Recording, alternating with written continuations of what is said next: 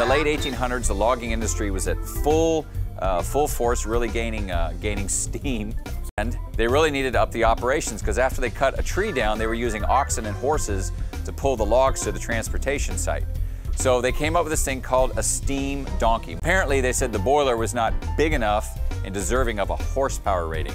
So I think steam donkey is kind of like a backhanded slap in the face. So they called it a donkey boiler.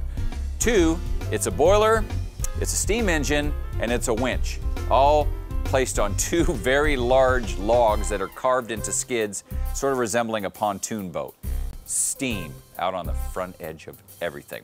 So here's how this thing worked. They would bring it in as far as they could on rail, and then they would drag it. So this thing would, whenever they were taking it to its first site, or whenever they would clear off a patch and needed to move, they hooked a winch to the biggest tree they could find and they would drag themselves through the woods, which is why it needed to be on those big wooden skids. Now, eventually, the steam donkey went away, as a lot of steam engines did, giving way to diesel-powered engines. But it's a big part of our history, and if you want to see some history, there are abandoned donkey boilers all over. If there is a replica on the Grizzly River Run at Disneyland uh, in California, that's their water ride. You see these pictures here.